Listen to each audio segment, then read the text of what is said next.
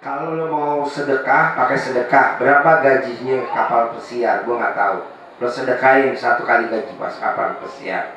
Kalau lo nggak mau sedekah, gratisan yang tadi. Terus alat kelamin lo taruh muka lo. Berangkat kapal pesiar. Berangkat kapal pesiar. Berangkat sembilan kali. Bangun tidur sembilan kali. Tangan kiri taruh di alat kelamin lo taruh di bibir lo. Berangkat, berangkat, berangkat, berangkat.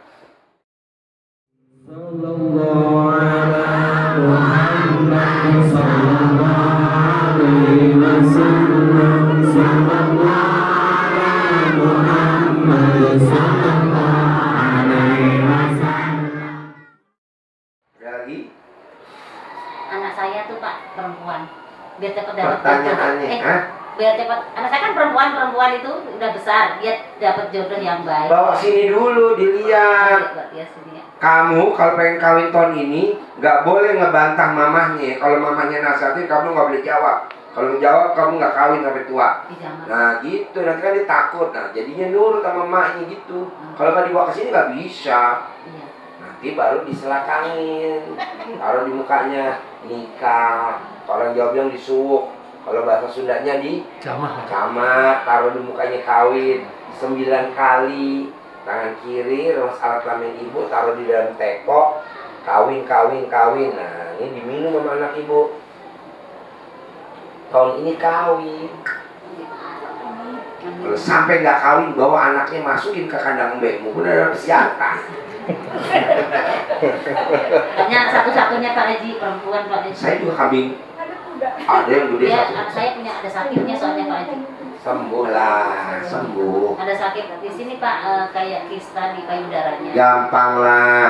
Nanti tiap hari kalau bangun tidur dijilat tuh tetek kistanya sama ibu. Ntar lembek, normal. Itu 99 kali, sehari 9 kali jilat. Sekali jilat 99, anak saya sembuh. kerja terus jilatnya gimana paling pagi bangun tidur aja Haji Berarti pagi bangun tidur sembilan 6, mau tidur 6. Oh. Mau ti bangun tidur 6, mau tidur 3 atau bangun tidur 5, mau tidur 4, 9.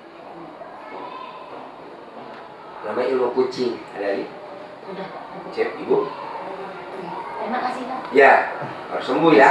Sayang tetenya kalau mau sembuh. perawan nih Pak Iya, maksudnya kasihan mumpung belum kawin. Jadi ntar tetenya kalau dipegang sama suaminya Iya. nggak ada benjolan. Iya, iya maksudnya gitu. Jilat. Ibu apa? Assalamualaikum Pak Haji, saya orang baru.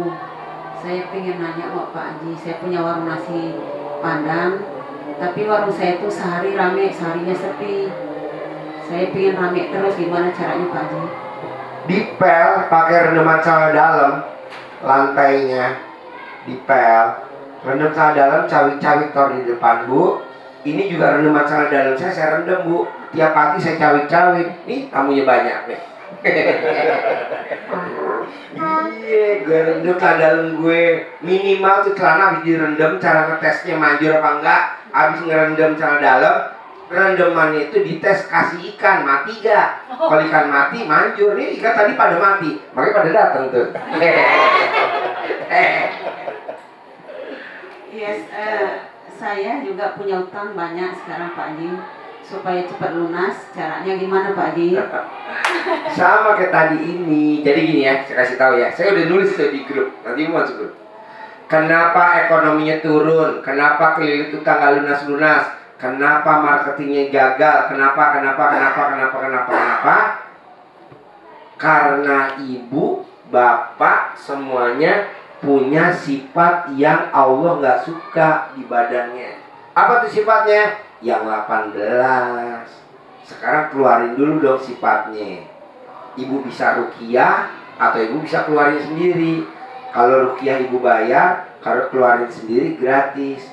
Aku yang gratis aja Pak Haji gimana caranya? Eh tangan kiri remes alat kelamin 9 kali semua yang jelek-jelek yang ada di badan saya yang saya suka nafsu bawaannya gatal pengen pinjol pengen ini tidak. Nah sodok eh, minum. Ibu minum. Nanti keluar tuh si bangsat bangsatnya udah nanti rezekinya datang. Kalau saya tanya rezeki kenapa nggak mau masuk? Ada bangsak ji. Oh ya udah.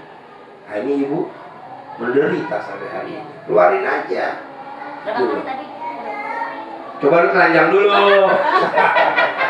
Masih ada nggak ke alat kelamin lo? Ada. masih ada nggak alat kelamin lo? Ya udah ngetes ya biar yang lain pada lihat caranya. Ini duduk di sini. Enggak remes remes nggak pakai celana Oh, dalam nggak pakai celana dalam. Iya. Berapa kali tuh, Pak? sembilan kali remes tapi jangan sampai copot ya. Apa itu jembutnya? iya jangan ya. Dipelakban dulu. Ada lagi? Itu aja Pak Haji. eh praktek ya ibu apa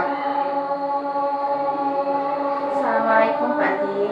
Saya baru pertama kali ke sini. Saya punya usaha konveksi, tapi nggak maju-maju, nggak ada yang pesan. Saya minta biar supaya konveksi saya rame. sekarang masih jalan nggak Alhamdulillah cu- cuman dikit.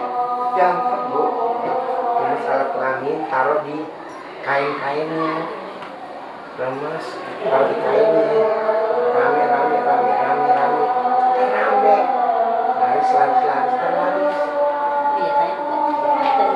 kalau mau maghrib boleh langsung nah, kita kan saya nggak nggak bisa di mana harus tepat waktu iya. Iya sholat. ayo. saya sholat ayo. maghrib dulu pagi Ayo. ya nanti saya nanti dicemak-cemak terus harus ditempel-tempel.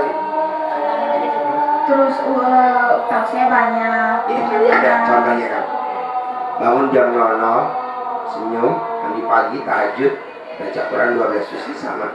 Tinggal ikuti itu aja. Ada lagi? Ya ibu? Assalamualaikum warahmatullahi wabarakatuh. Saya Suraya. Pak Haji, eh, saya sih udah memahami tadi ya. eh, kalau utang harus malam gitu.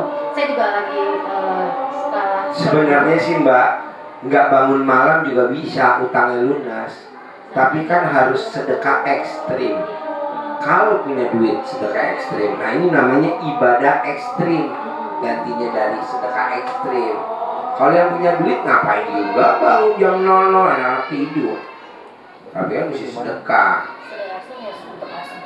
Sedekah ekstrim. Sedekah ekstrim itu seisi tabungan seisi rumah. Rumahnya gitu.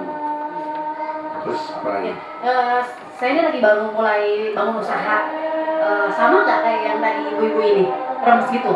sama. Nah, karena kan saya eh, dalam bentuk jualan-jualan juga nih, Ya. mau gitu. habis remas ditempelin ke dagangan. Itu ada bacaannya, sama apa hanya niat aja, pas izin nonton gitu. nggak ada bacaannya cuma laku laku laku laku. Laris laris laris. Diborong diborong diborong. Dibayar dibayar dibayar gitu. Jadi ada nggak zikir harian gitu yang harus saya lakuin? kan saya bukan kiai. Jadi nggak ada nggak ada bacaan zikir. Kalau zikir tuh kiai ustad habib saya kan SD impres jadi bacaan itu laris laris laris laku laku laku dibayar dibayar dibayar Cuma yakin aja ya Pak Haji ya. tingkat dewa. Iya, iya. Ah, saya langsung aja, Ah, saya kerja kapal pesiar. Udah dua mundur mundur santai Ah, apa Iya, saya kerja di kapal pesiar. Ah, udah dua tahun ini saya nggak berangkat berangkat. bulan kemarin tuh udah mau berangkat, cuma di cancel lagi. Kayak kemarin sekarang harusnya ah, lusa berangkat, cancel lagi. Ya, gimana supaya cepat berangkat gitu?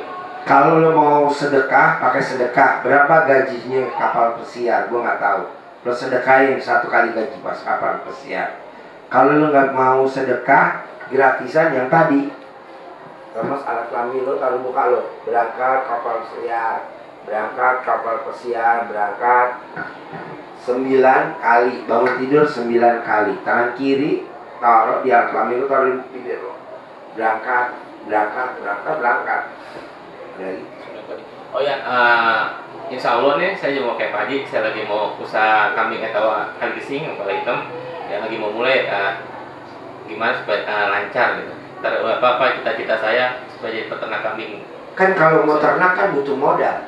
Iya, buat beli iya, kambing buat bikin kandang kan. Iya. nah sama kayak mbak ini lu mesti bangun jam 00 senyum kalau lu agama Islam tahajud baca Quran bla bla bla gitu kalau lu mau modal tapi kalau lu cuma mau terbang berlayar tadi gua ajarin kalau ada duit sedekah satu kali gaji kotor kapal pesiar kalau enggak yang tadi berangkat ada lagi Udah itu. Siap, tepuk tangan yuk. Sampai ketemu lagi besok.